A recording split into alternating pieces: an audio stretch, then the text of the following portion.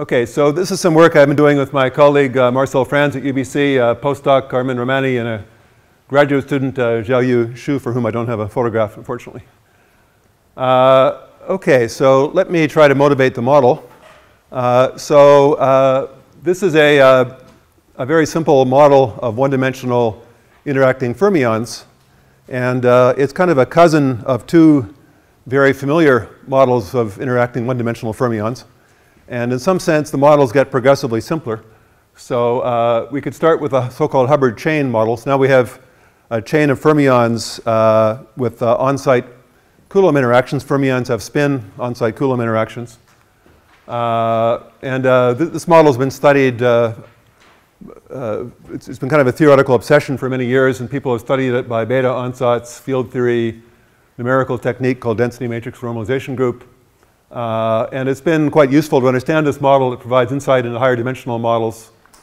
Um, it contains purely on-site Coulomb interactions, which is a, a big approximation. Uh, another model, uh, which looks even simpler, discards uh, spin. We have spinless fermions. If we have spinless fermion chain, uh, they actually can't have on-site interactions by Fermi statistics, so the shortest range interactions we can have are nearest neighbor.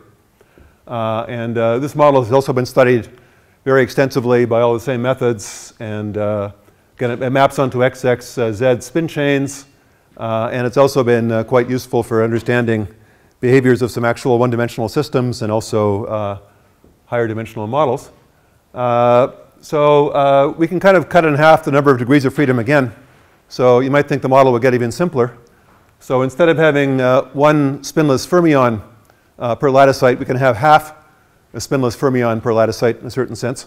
So we can introduce uh, so-called Majorana fermions. Uh, so the, these are fermionic operators that equal their own Hermitian conjugates. So we can combine two Majorana fermions together to make a Dirac fermion. Uh, so we can think of basically a Dirac fermion operator has a Hermitian and anti-Hermitian part, and these are both Majoranas. So in a sense, we've cut the number of degrees of freedom in half again. Uh, but now, uh, basically because the product of uh, two Majorana fermions is one, uh, to get a non-trivial interaction, we actually have to write something on four neighboring lattice sites. So th this is the shortest range possible interaction you can write down for uh, Majorana fermions in, in one dimension. So it's a four Fermi uh, interaction.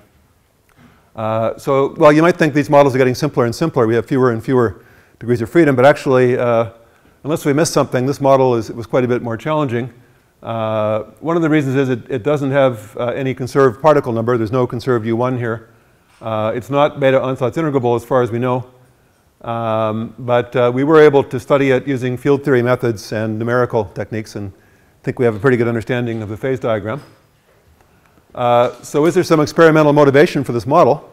Well, uh, apart from Majorana fermions being sort of trendy these days, there have been some uh, concrete uh, proposals, uh, and maybe the most direct one involves a vortex lattice in a superconductor. so let me show you the picture. So we, we have a strong topological insulator. We, we put a, a, superconducting film on top. We apply a magnetic field, and we get a vortex lattice. And uh, it's expected uh, that at the core of every uh, vortex there will be a Majorana fermion. Uh, and uh, in general, there can be tunneling processes, so particles can hop in between the vortex lattices. And in general, there could also be uh, interactions, uh, probably longer range than the shortest one I've written down, uh, but that's a, a, kind of simplified uh, starting point. Um, and it's also interesting to notice that an extra symmetry is present in the Hamiltonian when the hopping term vanishes. it's Basically, it uh, takes gamma j to minus 1 to the j uh, gamma j. Uh, and this symmetry is actually present uh, when the chemical potential of the topological insulator is tuned to the Dirac point uh, of the surface states. So th this means that it might be possible to actually tune the hopping term to zero. And therefore, it might be possible to study the sort of strong interaction regime where the interaction term is much larger than the hopping term. Okay, so uh, that's the model. And let me tell you what we've managed to understand about it. Uh, so the first thing to notice about this model, which makes it a bit more challenging, is that unlike the Hubbard model is quite easy to understand in the limit of very strong coupling, and, and so is the spinless uh, fermion model. Uh, if we kind of ignore hopping and only consider interactions, the models become uh, fairly trivial. We can quite easily solve them exactly. Uh, that's actually not the case with the Majorana fermion model. Even, even with purely interaction terms, uh, the model is not so trivial to solve. So uh, after scratching our heads about this for quite a long time and doing some numerical simulations, uh, we came to the conclusion that there's a, a, spontaneously broken translational symmetry in the strong coupling limit. Uh, so to get some insight into what might happen in that case, it's uh, instructive to uh, break the translational symmetry by hand. So we can consider a model where the hopping term uh, varies, alternates, and also where the uh, interaction term alternates. So if we have an even numbered site on the left-hand end, we have G1. If you have an odd numbered site, we have G2. And these are uh, nearest neighbor interactions. So in, in, fact, to get, get a model that even I can solve uh, easily, uh, I'm actually going to really cheat drastically and set three of these parameters to zero. So suppose we only have one uh, non-zero parameter, namely G1. So now we have a model that we can finally uh, easily solve. Uh, and the way we solve it actually is to combine pairs of Majoranas to make a Dirac. So if we combine together uh, the Majorana on site 2j and the Majorana on site 2j plus 1, so as, as promised, the Hermitian and anti-Hermitian part uh, forms a Dirac operator, then uh, it can be shown that this nearest neighbor product, in fact, is just twice this number operator, C dagger j, cj uh, minus 1, an operator with eigenvalues plus or minus 1. Uh, and therefore, uh, in this case, well, this product is, is gives uh, uh, one number density, and this gives the next number density. So now, in fact, it just reduces to this. So this, this actually looks like the uh, strong coupling limit of the spinless fermion model. But we only managed to get that by throwing away half of the interaction terms, actually. so th this model, solution is very well known. Uh, and actually, it depends uh, strongly on whether G1 is positive or negative.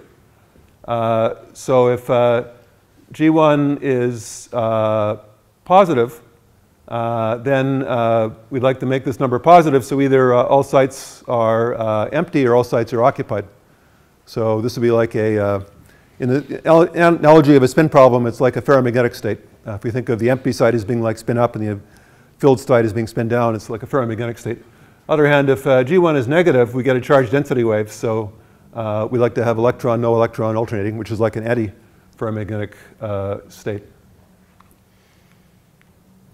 So uh, actually, I've already kind of cheated by um, sort of breaking the symmetry by hand and throwing away half the interaction terms. Now, now we discover that uh, there's kind of a second spontaneous symmetry breaking, uh, and we have a twofold degenerate ground state even after we've thrown away half the interaction terms. Uh, so if instead uh, we have G2 non-zero instead of G1, uh, we get uh, basically the same picture except that uh, now we combine Majoranas to make Diracs on site 2j minus 1 and 2j instead of 2j and 2j plus 1. and now we basically get the same picture. so we can sketch, let me sketch a little picture of what these ground states look like. So the most important thing to remember is it takes two Majoranas to make a Dirac. So uh, the little dots represent the original lattice sites where the Majorana fermions live. And uh, the big uh, circles represent how I've combined a pair of Majoranas to make a Dirac. Uh, and if uh, G1 is negative, then as I said, we want to have this charge density wave type state, uh, which can either be this form or that form. If G2 is negative, something similar happens, but everything shifts over by one Majorana site. So now we combine these two Majoranas to make a Dirac and these two to make a Dirac. So actually, if I'm right that we have a spontaneous symmetry breaking when G1 equals G2, then we might actually expect uh, four ground states. Uh, so they, they, differ. Translation by one site sort of shifts how we're combining Majoranas to make a Dirac. And then once we have Diracs, so we can kind of understand what's going on, we still actually have uh, another twofold degeneracy. Uh, on the other hand, uh, for G bigger than zero, again, we have four states. Again, we have two ways in combining Majoranas to make Diracs, but now we have this sort of ferromagnetic situation, so either all states empty empty or all states occupied. And again, uh, we only define Diracs by combining pairs of Majoranas, so there's sort of two, two ways of doing it. Okay, so that's what happens if we just consider interaction terms, and I've kind of really cheated you because I haven't really shown that this translational symmetry is spontaneously broken. I'm just kind of assuming it for the moment. Uh, we might ask what happens if we include the hopping terms. Well, if we only have T1, uh, then again we can uh, write it in terms of uh, Dirac fermions, and now it just looks like a simple chemical potential term. So this will actually split the degeneracy between all states being filled or all states being empty. It will choose uh, one or the other. Um, and um, So there's actually, there's a particle hole symmetry present when t equals zero, uh, which actually makes all states filled or empty degenerate, but it's broken once we include t. Uh, so uh, if we consider the case where T1 equals T2 and G1 equals G2, so full translational symmetry, uh, then um, these ground states are sort of simple candidate cartoon pictures for what the ground states might actually look like. Um, so if we take the case, for example, where T1 and T2 are, are non-zero, and G1 and G2 are non-zero, uh, then depending on the sign of T, we're either going to favor the state where everything is empty or favor the state where everything is filled. But we still have a twofold degeneracy because we can translate by one site. We can switch the way we combine uh, Majoranas to make Diracs.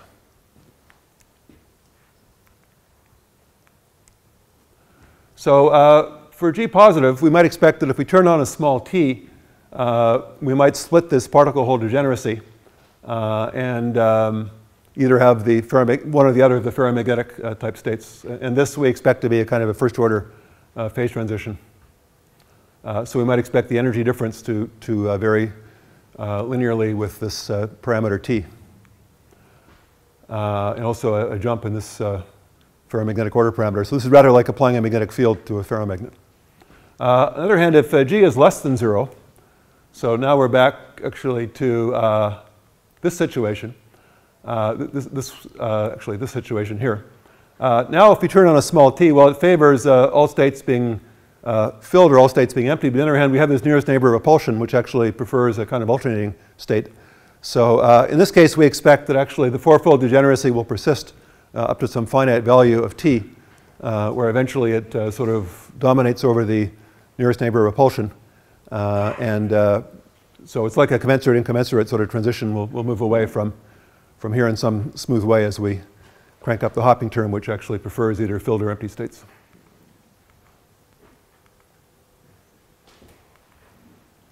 Okay, uh, so uh, if, if, uh, if, like me, you have trouble getting any intuition about Majorana fermions, uh, we can always write this Hamiltonian in terms of Dirac fermions uh, by arbitrarily combining pairs of Majoranas to make Diracs. But, uh, well, we get some of the terms that I mentioned. We get, we get this type of nearest neighbor repulsion term, we have this chemical potential term. The other hopping term just, just, becomes a hopping term for Dirac fermions. But then the other interaction term is rather nasty. Uh, so this term involves uh, three lattice sites. Uh, there's a, a, hopping term that, a second neighbor hopping term that depends on the, the sign depends on the occupancy of the intermediate site. And there's also a pairing term. So this Hamiltonian does not conserve particle number. Uh, it's, it's, not a conserved symmetry of the Majorana fermion model. So we have this uh, peculiar uh, second neighbor pairing term where the sign again depends on the density of, of the intervening site. So particle number is definitely not conserved here, but uh, like in most uh, models like this of superconductors, it's conserved modulo 2. So the, the Hilbert space breaks up into sectors that either have an even or odd number of fermions, and we call this fermion parity. And we can define a fermion parity operator, which will be plus or minus 1 on all lattice sites. So when we classify the states of the Hamiltonian, we can classify them by uh, their fermion parity. Uh, so uh, we also have a spatial parity symmetry. And uh, when, when, t is zero, we actually, we can change the sign of uh, every fourth uh, Majorana, and that changes the sign of g. So this means that positive and negative g have to be equivalent when t is zero, but actually not for non-zero t. Uh, finally, you might wonder uh, what happens at the edges. Uh, so what, one of the interesting aspects of Majoranas is they can sometimes appear as edge states at the ends of chains. So here, of course, we have lots of Majoranas, so we probably don't care too much if we have some at the end or not. But you might ask, if we're in one of these spontaneously broken phases, uh, do we have unpaired Majoranas at the end? Uh, well, actually, we could or could not, depending on how we combine Majoranas to make Diracs. And uh, we suspect that energetically, probably this state is preferred over that one because we've we, have combined more Majoranas and got more Diracs this way. So probably this state has lower energy. So if we're in this kind of spontaneously broken gap phase, we probably don't have any Majoranas at the end, we suspect. Okay, so so far I've just been waving my hands and speculating about spontaneous symmetry breaking, uh, which uh, in fact we believe happens in the strong coupling limit. So now let me go back to the opposite extreme. Let's see if we can solve the model for weak coupling. In particular, let's see if we can solve the model for zero coupling and then uh, add uh, perturbation. Um, So uh, without lots of generality, I can take T positive and consider uh, both signs of G. Uh, and now the idea is to perturb in, in the limit of weak interactions. Um, and uh, there's kind of a confusing sign reversal here because of the way we wrote the Hamiltonian. So actually, it turns out that G less than zero uh, really corresponds to repulsive interactions, and G bigger than zero is attractive interactions. And I apologize, but it sort of comes out of minus signs in writing the Majorana interaction. So let, us start with a non-interacting case. We just have the, uh, the, hopping term. In fact, I should go back and show you something about that. If you look at this uh, T term, uh, there's actually there's a hopping term. There's also a pairing term. So this is actually a combination of hopping and pairing uh, and uh, chemical potential. So actually, it's, it's related to the uh, Kitaev model. Uh, but now we're adding these interactions. So the first question is, well, what's the behavior of this model with no interactions when the two t's are equal? So actually, this model, well, it's harmonic. We can solve it exactly. So all we really need to do is Fourier transform the Majorana modes. Uh, and because the gamma j's are Hermitian, gamma of minus k has to be gamma of k dagger. Uh, so uh, we can uh, write the Hamiltonian uh, this way. And in fact, uh, we can simply think of gamma of k as being an annihilation operator for some range of k, and a creation operator for the other range of k using this identity. And therefore, we can actually write the Hamiltonian as a standard quadratic Hamiltonian in terms of annihilation and creation operators. Dispersion relation is sine k, and they only exist over sort of half the Brillouin zone from 0 to pi. So we have this sine k dispersion relation. Uh, and uh, now if we want to write down a low energy theory, we can linearize the dispersion relation uh, and just keep fermions near uh, 0 and pi points. Uh, and we can think of these, when we, linearize, when we linearize the dispersion relation, this becomes equivalent to a relativistic field theory uh, with the slope here corresponding to the velocity of light. and uh, these particles basically have positive momentum, so they're right movers, and these have negative momentum, they're left movers. So that, that corresponds formally to only keeping uh, wave vectors of gamma j near 0 or pi, so uniform part, alternating part. Uh, and uh, then we can write down a, a relativistic uh, Majorana field theory. Uh, so this involves actually right and left moving Majorana modes with some velocity uh, for t.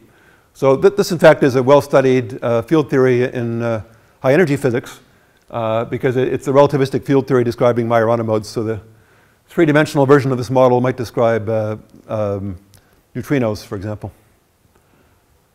Um, and again, it's important to notice that translation by one site actually changes the sign of gamma left and not gamma right. And that actually forbids by symmetry the, the mass term. The mass term would be gamma right, gamma left. That's the uh, non-derivative harmonic term you could write down with, uh, and this, this would actually gap out and provide a mass for these excitations. But this mass term is actually forbidden by translational symmetry. So therefore, uh, we expect that these excitations remain uh, gapless. Now we can try to understand the effect of the interactions. And if the coupling constant is weak, uh, we can just project them onto the low energy excitations, gamma right and gamma left. Uh, but now we already see a strange difference from uh, other uh, types of models, especially, uh, um, well, actually any of the other types of models, because uh, since we only have one, we have two types of Majoranas, gamma R and gamma L. And basically, gamma r squared is, is just a constant, and gamma l squared is a constant. So to get any kind of interaction, we have to actually stick in two derivatives. So uh, unlike the spinful or, or ordinary Dirac fermion models, uh, the, uh, the simplest interaction term we can write down already involves two derivatives.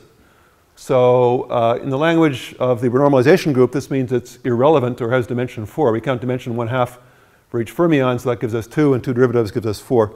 So uh, this means we expect that this interaction would scale to zero as we go to lower energies. So we wouldn't expect it, uh, at least if G is weak, to have much effect uh, on the physics.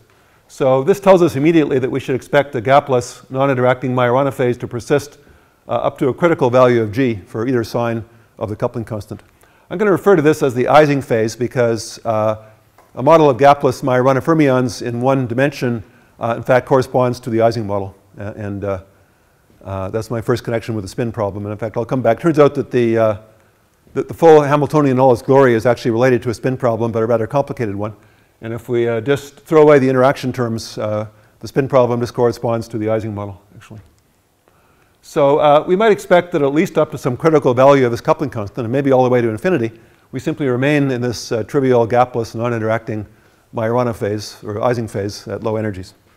So uh, the, the, question then is, uh, did my hand waving at the beginning about spontaneously broken symmetry, was it actually uh, of any relevance to this model, or did we simply get a boring gapless phase all the way up to infinite coupling? So not, I think, uh, terribly obvious, and I don't think we could have answered the question without having some numerical results. Um, so let's assume for the moment that there are some sort of phase transitions uh, as we crank up the coupling constant and ask what uh, they might look like. Um, so uh, as we go to large uh, positive G, which actually corresponds to uh, attractive interactions or going into the ferromagnetic phase, uh, we might expect a, a transition into the gap phase with broken translational symmetry. Uh, and once we break the, break the, translational symmetry, then nothing prevents a gamma R gamma L term, which is a mass term. So we would expect that we would produce a mass for these Majorana fermions. And as I mentioned, uh, in the case of positive G, where we have the ferromagnetic states, uh, if we have a finite T, there are actually just two ground states uh, because the, the uh, hopping term T favors either filled or empty, so we can just translate them by one site. So uh, we go into a state with a twofold degeneracy if the symmetry is broken at strong coupling. So you might ask, well, wh what would be the nature of such a phase transition if it actually occurs? Uh, well, there is good reason to believe it would correspond to what's called the tricritical Ising model. Uh, and uh, the reason is that the, well, the, the gapless phase is the Ising model. And this symmetry I was talking about, which is actually a translation by one site in the Majorana mo model, uh, actually corresponds to a well-known symmetry uh, in the Ising model. Actually, it's not the symmetry that changes the sign of the spin operator. It's something called uh, Kramers Wannier duality. It's a symmetry that actually uh, interchanges the low temperature and high temperature phases. Uh, or in the uh, quantum version of the Ising model, it interchanges the transverse field term and the nearest neighbor interaction term. Uh, so th that symmetry is sort of naturally present uh, corresponds to translational symmetry. It's kind of the reason the model remains gapless or at the critical point. Um, but uh, if that symmetry is spontaneously broken, uh, then we can go into a gap phase. And this is actually precisely what happens uh, in the Ising model. Uh, so in the classical Ising model, uh, uh, there's a critical temperature where the transition is second order. But if you add dilution, so take a two-dimensional Ising model and remove some of the spins, then eventually the transition becomes first order. Uh, and at the point where the second order transition turns into a first order transition, uh, we have a, uh, a so-called tricritical Ising critical point. Uh, so uh, this corresponds to a conformal field theory uh, with a central charge of 7 tenths, whereas the Ising model is a conformal field theory with central charge 1 half. So this might suggest that for positive g over t, there might be a range of parameters where we have the Ising phase, a range of parameters with a twofold degenerate ground state corresponding to breaking this Kramers-Wannier duality, and then some sort of tricritical Ising uh, point at some uh, critical value of, of, G. It's also interesting to notice that if you consider what happens if you just go barely past the critical point, so you're just barely into the, uh, the phase with broken Kramers-Wannier duality, you can actually analyze the nature of this phase transition. In particular, uh, there is a, um, a relevant operator at this critical point which actually produces a gap. And it turns out this, first of all, the tricritical Ising model actually has supersymmetry. And it turns out that the, uh, the leading, irrelevant, leading relevant interaction here that, that uh, drives us into the gap phase is also supersymmetric. So we actually expect that this broken symmetry phase would be, super, be a massive supersymmetric phase sufficiently close to the tricritical Ising point. So uh, th this model provides a possible realization of supersymmetry uh, in a condensed matter context. And in fact, it's a type of supersymmetry occurs in relativistic uh, quantum field theories. Uh, so you might object, well, if it's supersymmetric on this side, why isn't it supersymmetric on that side? Uh, it, and that, that question was actually studied by, uh, by field theorists many years ago. And the conclusion actually is the operator, so if you change the sign of this coupling constant for this operator which preserves supersymmetry, uh, with one sign of the coupling constant, it, it drives you into another uh, massless phase, but with uh, a smaller central charge, but it also spontaneously breaks supersymmetry. So supersymmetry is spontaneously broken in the Ising phase. There's no real uh, ramifications of it, but it's uh, believed to be unbroken uh, in the phase with the broken Kramers-Wannier duality. Okay, so, uh, well, this is all hand waving, and uh, we wouldn't have got anywhere with this project without having some numerical simulations. Uh, so we, we, did some uh, density matrix renormalization group calculations up to rather large systems. Uh, and eventually we uh, found compelling evidence that there is a phase transition, but it occurs at an incredibly small value of t over g, or alternatively, an incredibly large value of the dimensionless uh, interaction strength. So uh, there's a transition at a huge, huge interaction strength. and t is so small here that actually we're not very far from t equals zero.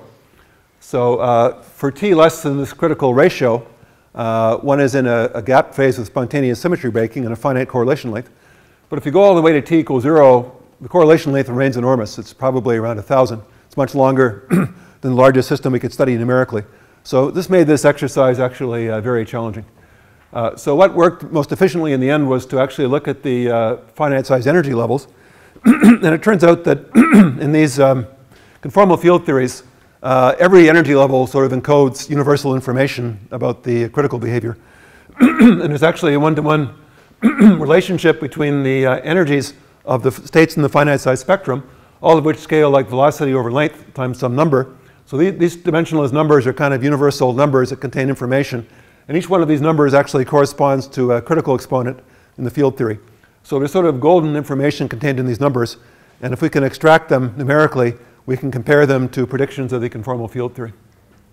In fact, these, uh, these xn's uh, are, in general, they're fractions, and, and they're, uh, they're scaling dimensions of operators. And these xn's should be different in the Ising and tricritical Ising phase. Other thing that we can do is look at the uh, central charge uh, from looking at entanglement entropy, and we found that for a, uh, a range of t over g, central charge is, is one half corresponding to Ising model, and then it, uh, it jumps to some larger value, maybe approaching 1.5, as we, which would be the value for the tricritical Ising model uh, as we, um, or I'm sorry, tricritical Ising model would be 7 tenths. So in fact, it doesn't go to 7 tenths, it jumps right past it uh, in this case. Uh, but we, we can also look at uh, finite size spectrum. And in particular, we can look at ratios of energy gaps. So here, uh, even or odd corresponds to states of even or odd fermion parity. Uh, 0 or 1 uh, corresponds to ground state or excited state, first excited state, and uh, A just means anti-periodic boundary conditions. So uh, we can predict these ratios of uh, excitation energies. Uh, and in the Ising phase, it should take the value 1 half. And in the tricritical Ising model, it should take the value 7 halves. And what we find is that as we tune parameters, there's a sort of magic value of t where it seems to go to 7 halves. for larger t, it goes very slowly down towards one half, and for smaller t, it has some behavior probably characteristic of having a gap, except the gap is so small that it's actually rather challenging to see it. We can look at a bunch of other ratios. So here we've actually looked at, um, I guess, four different ratios, or five different ratios actually, and uh, all of these numbers sitting right at the critical value of t, which we think is a tricritical Ising model. And uh, actually, uh, all of these ratios are predicted uh, by uh, the tricritical conformal field theory, and these are represented by the solid lines, and the symbols are numerical data. So uh, I guess we're getting actually four ratios of finite size energy gaps, all of which, uh, to pretty good accuracy as we increase the length, uh, are going to what is predicted uh, by the conformal field theory. We can also look at correlation functions. Uh, so this is, sorry, alpha and beta just corresponds to gamma on even or odd lattice sites. So we, we can look at the uh, correlation function for the equal time correlation function in the ground state for the Majorana fermions, which we can calculate again using numerically using the DMRG. And uh, in the Ising phase, uh, we just expect a 1 over x uh, decay. So on a log scale, uh, we get a slope which is uh, minus 1. but at the tricritical Ising point, we expect an exponent actually of, of 1.4 or which I guess is um, uh, 7 halves. And uh, no, it's not 7 halves, it's uh, 7 fifths. And uh, that, uh, that also agrees very well. So for generic values of t, we see a slope 1. Uh, and at the tricritical Ising point, we see a slope of 1.4. Okay. Um, so now, now, let me turn to what happens for g less than 0 that actually corresponds to repulsive interactions. if th this model was going to actually be relevant for an experiment, you would have to decide are the interactions attractive or repulsive? Well, if they're basically Coulomb interactions, they should be repulsive. But since we're sitting on top of a superconductor, we might hope there could be some, possibly some sort of induced attractive interaction. So conceivable either sign is of, uh, of relevance. But let me now, so far I've been talking about uh, attractive interactions. Now let me turn to repulsive uh, interactions. So now we might ask, well, how do we exit? Again, we expect this Ising phase will be stable for a, a range of, uh, of g uh, less than zero corresponding to repulsive uh, interactions. Now the question is, well, how do we exit the Ising phase into some sort of gap phase uh, in this case? Well, in this case, they argued that for in a strong coupling limit, now we expect a fourfold degeneracy. We had this uh, antiferromagnetic type state, so we had up, down, or down, up, and we could shift everything over by one Majorana site corresponding to changing how we combined Majorana's to make Dirac. So we had a fourfold degeneracy. And that doesn't sort of look right for an Ising transition because uh, Ising we expect a, only a twofold degeneracy. Uh, so that suggests that in fact this will not be a tricritical Ising transition but something else. Uh, so uh, it turns out you can get some insight into what happens in this case uh, by considering what happens if we add a third neighbor hopping term. So I emphasize we do not have a third neighbor hopping term in our Hamiltonian, but one might be induced under renormalization. So you might ask, well, why go to third neighbor, not second neighbor? Second neighbor is actually forbidden by the spatial parity symmetry. So third neighbor is the next one which is allowed. So, well, if we have a third neighbor hopping, uh, we can again uh, just uh, diagonalize. And, and again, we play the same game. We have to look, we get a dispersion relation like this. And again, we have to look at the range of wave vectors where the energy is positive, and we can identify those with creation operators and the other range with annihilation operators. Uh, and now, actually, we, there are actually uh, six points uh, where the energy passes through zero. They include zero and pi, and actually four other points. So again, we can sort of play the same game of mapping this on, at low energies, we only keep wave vectors near zero and pi, and also near k0 and pi minus k0 and, and the negative k uh, points. And uh, we can actually identify 0 and pi with a Majorana fermion as before, but uh, k0 and pi minus k0 uh, should be identified with Dirac fermions, uh, basically because we have states above and below zero energy that aren't obtained by reflection, k goes to minus k. So uh, this basically tells us that at least ignoring interactions, the low energy theory now has Fourier modes near 0 and pi, k0 and pi minus k0. And uh, we can identify these with uh, left and right moving Majorana fermions and also left and right moving Dirac fermions. So again, if we only keep low energy states, now the non-interacting Hamiltonian is actually a sum of a Majorana fermion relativistic theory and a Dirac fermion relativistic theory. And one of the rather remarkable things about this is, well, the Dirac theory actually has a U1 symmetry, a conserved charge. Uh, so even though we started with a model that didn't have any conserved charge, it seemed like, in, a sense, in the low energy theory, a kind of a conserved charge was emerging here. Of course, that's fairly trivial unless we include interaction effects. So then the question is, what are the allowed interactions? Uh, and it turns out that now there actually is one uh, low energy interaction uh, allowed by symmetry, which is not irrelevant. Uh, and it's a rather familiar interaction for spinless Dirac fermions and involves uh, basically a product of uh, right and left currents. and this also preserves the U1 symmetry. So, so we might speculate, therefore, that there's kind of an emergent U1 symmetry, and that we go into a phase that has, uh, but, but, this will actually leave the, leave the Dirac fermions massless. In fact, uh, this relativistic Hamiltonian with this term is, is, the, is the Hamiltonian that describes the uh, spinless uh, Dirac fermion model in the gapless phase. So this might suggest that there's going to be a, a phase where we have a gapless Dirac fermion and a gapless Majorana fermion. The gapless Dirac fermion has an interaction term. This interaction term uh, turns it into a so-called Luttinger liquid. So it's a kind of interacting massless Dirac fermion theory. Um, so uh, we actually could check this conjecture because uh, if you just go back to the, uh, the, the non-interacting part, we have these velocity parameters, v0 for the Majoranas, v for the Diracs. Uh, and uh, in the non-interacting uh, model, as we vary t prime, we actually go through a critical point where extra zeros appear in the dispersion relation. And at the critical point, the velocity actually vanishes. So the critical point is characterized by vanishing velocity. So if we start in the Majorana phase and numerically calculate the velocity, uh, indeed we find uh, for g equals minus 1, there's a critical t where the velocity vanishes. So we can identify this as uh, the point where this transition might occur from a uh, Ising phase into what we call an Ising plus Luttinger liquid phase. Uh, and uh, this occurs at, at not such a tiny value of t. So in fact, in this case, uh, g over t is about one third. So this is occurring at re relatively weak coupling, whereas for the other sign of the coupling constant, the transition was occurring at a coupling of about 250. So there's enormous asymmetry between positive and negative coupling uh, in this model. Uh, Uh, now, if we go into this, uh, well, in the uh, Ising phase, central charge is one half.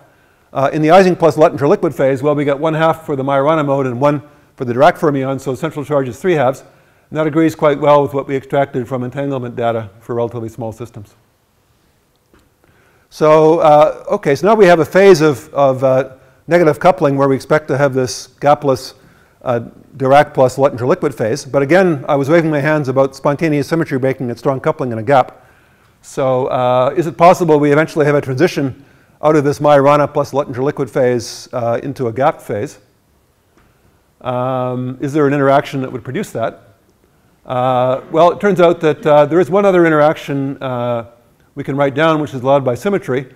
Uh, it actually involves uh, sort of a pairing term for the Dirac fermions that breaks the U1 conservation uh, and a product of the Majorana fermions. Uh, but if you take into account the Luttinger parameter uh, k, uh, which we can calculate from the other, so this, this interaction term actually determines the Luttinger parameter. and we get a k less than 1, which corresponds to repulsive interactions. And this actually makes this interaction irrelevant. This pairing term has a dimension larger than 1 with repulsive interactions, and therefore this is an irrelevant uh, interaction, at least starting from weak, weak coupling. Uh, okay, so can we confirm? So, there, therefore, in fact, uh, at least for weak enough coupling, apparently there's no relevant operators that could uh, disrupt this uh, Luttinger liquid plus uh, Ising phase. So can we confirm numerically that this is the right phase?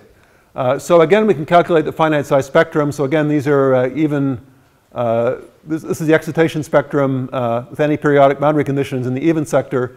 This is the odd-even uh, energy, which can be positive or negative. The ground state is alternating between even and odd fermion parity. So this is what happens as a function of length for some fixed value of parameters.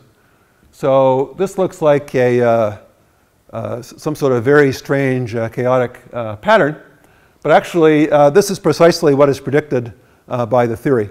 So uh, the important point is that there's kind of an induced Fermi. There was no characteristic Fermi wave vector in the problem because we didn't have any conserved uh, particle number.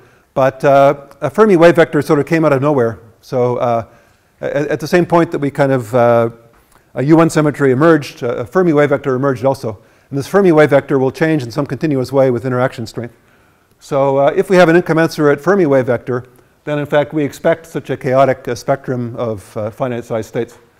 And in fact, actually, so uh, the, the, uh, the, the, various symbols are numerical calculations of finite size uh, spectrum, and the lines are theoretical predictions based on the uh, uh, Dirac plus uh, Ising phase, and we get rather good agreement. And in fact, some of the excitations are actually in the Dirac sector, some are in the Luttinger liquid sector, and we represented these here by different colors. So it was actually quite challenging to interpret the spectrum, at the end of the day, we realized that in fact it was explained rather nicely by this uh, liquid plus uh, Ising phase. And uh, we have, uh, you know, order 100 or 200 uh, excited states here as we vary the length or ratios of energy gaps. And they're predicted actually by four parameters. So there's a velocity V0 in the Ising sector. There's a velocity V in the liquid sector. There's a kind of a spontaneously induced Fermi wave vector K0. Uh, and finally, there's this interaction strength parameter K, Luttinger parameter in the Luttinger liquid sector. So it turns out we can fit all the data quite nicely with just four parameters. So we're fitting uh, order 100 uh, uh, points with four parameters, so I, I, think it's a fairly convincing fit. Uh, and these, this is how the parameters uh, behave uh, as we basically reduce t, so we go into stronger and stronger coupling regime. So what happens as we go towards strong coupling? Do we actually go into a broken symmetry phase? Well, it's instructive to look at what happens to the wave vector k0 which is actually going to uh, pi over 4. Uh, and also uh, look at what happens to the Luttinger parameter, which is going from order 1, corresponding to non-interacting fermions, down to very small values, corresponding to very strong repulsive uh, interactions. So uh, there's one other uh, interaction around, which I've ignored so far, which might come into play when we go to strong enough coupling.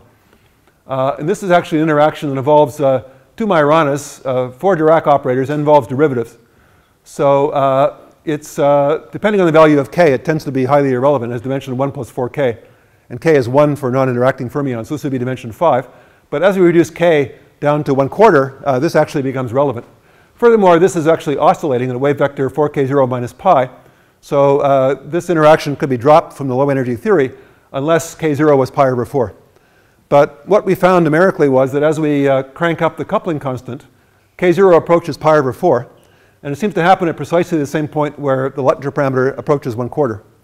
So uh, it seems to be that there's a critical uh, coupling constant at which suddenly uh, this interaction uh, stops oscillating and becomes relevant uh, and could, could, produce a gap.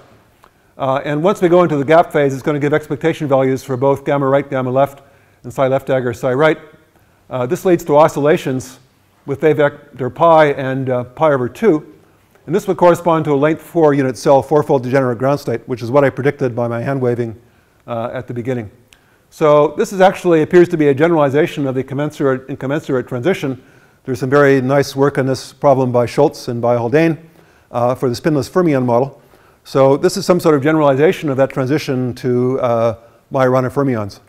And again, it's sort of characterized by, uh, as we vary interaction strength, um, the density of particles can sort of change continuously, and then we can kind of lock into a commensurate uh, density, uh, uh, which, which might correspond to a gap phase. So something rather analogous is happening here. And uh, I think it's very interesting that uh, K0 goes to pi over 4 at exactly the same point where this interaction becomes relevant. So very reminiscent of uh, theory of the commensurate incommensurate transition in uh, Dirac fermion systems. So as promised, I wanted to talk a little bit about uh, connections with uh, STM. So supposing that we were actually able to make this system, so we have a bunch of vortices on top of the superconducting layer on top of a, a, strong topological insulator. Now suppose we were able to do STM measurements, so we could uh, try to tunnel uh, electrons uh, in, into the core of the vortex. so how do we expect the tunneling current to behave as a function of voltage? well, this is determined by the self-correlation function of the Majoranas in time domain. So uh, in the Ising phase, uh, this simply scales like 1 over t. This corresponds to a constant density of states, uh, and therefore predicts a tunneling current which will be linear in voltage. We also have to take into account the density of states in the tip. STM tip, but we assume that's also uh, is constant. Uh, at the tricritical Ising point, again assuming low frequency Green's functions are dominated by low energy excitations, uh, we now predict a non-trivial uh, exponent. The current should now vary as, as a fractional power of V uh, to the 7 fifths. So uh, we can actually relate the, the, the, time exponents to the spatial exponents. So we, we can actually, the 7 fifths occurring here is actually related to the 1 over x to the 7 fifths behavior of the equal time correlation function. I showed you earlier that that in fact fit nicely the numerical uh, simulation. So we have some numerical evidence for this uh, 7 fifths.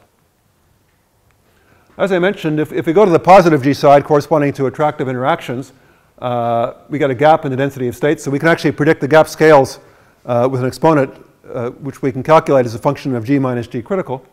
And also, as I mentioned, once we go into the gap phase, we're actually in a supersymmetric massive phase.